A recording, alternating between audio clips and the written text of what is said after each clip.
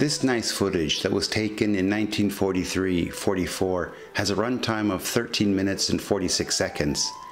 In part 2 of this series, covering the V1, we'll take a look at the German expectations for the weapon when it was introduced to the public in a 1944 Signal periodical.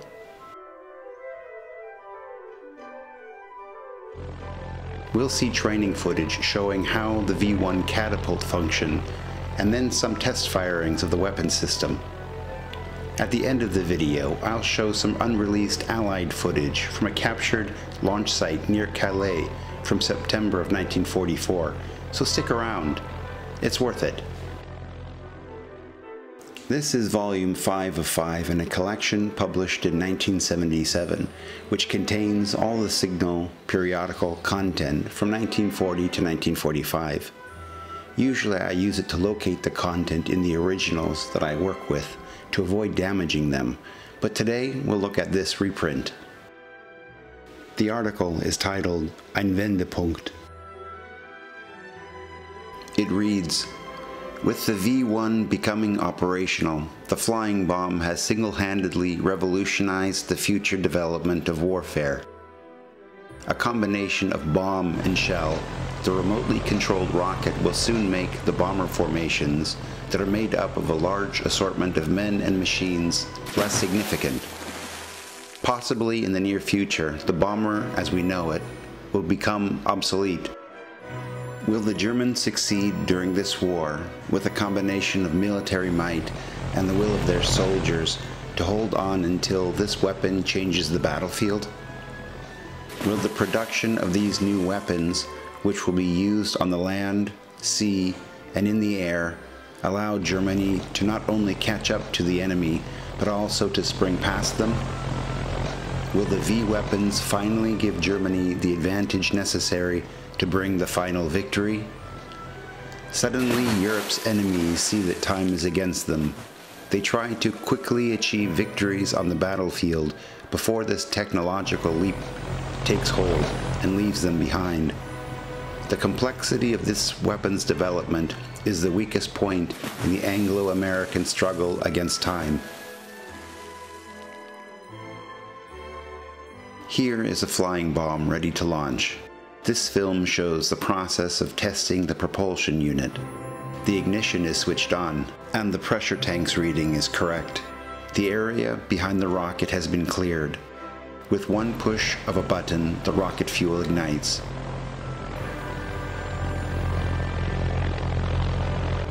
The air ventilators are working correctly.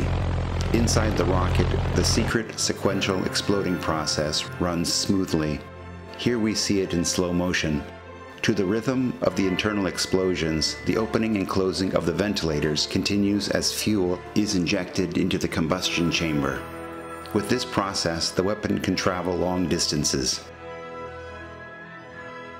Signal reporter Hans Hubmann went to visit a V-1 launch site his photographs show for the first time the V-1 close up. A Luftwaffe soldier configures the coordinates of the target into the flying robot. The wings are mounted.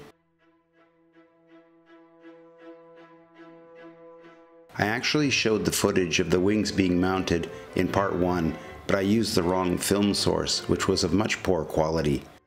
Sorry about that.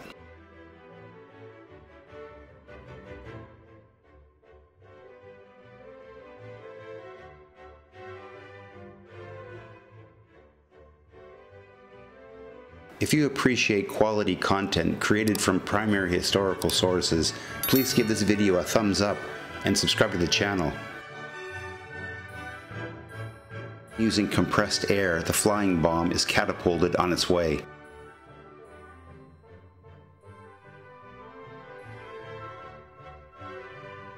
This animated illustration showing how the V-1 catapult functions is part of a 1943 ground crew training film that has a total runtime of just under 29 minutes.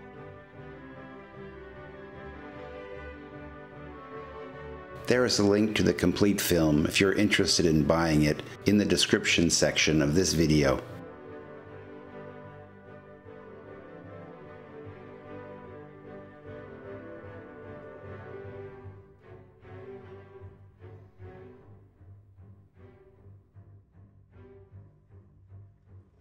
Soon it levels out and flies at high speed off towards its target.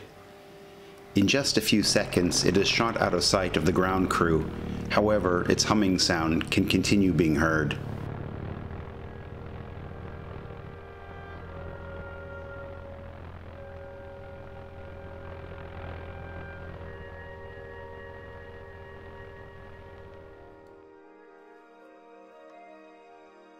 In the meantime, the crew jumps to action with the specialized machinery, bringing the next flying bomb into position and readying it for launch.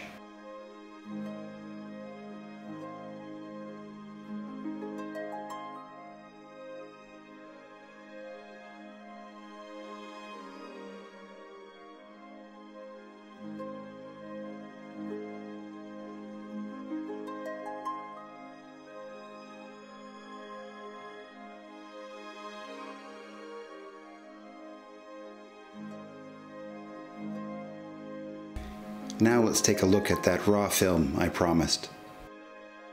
This unique film reel is labeled Atlantic Wall near Calais.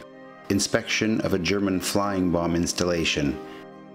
France, September 1944. It has a runtime of 6 minutes and 10 seconds. For Patreon channel members, you can see it in its entirety on military1945.com.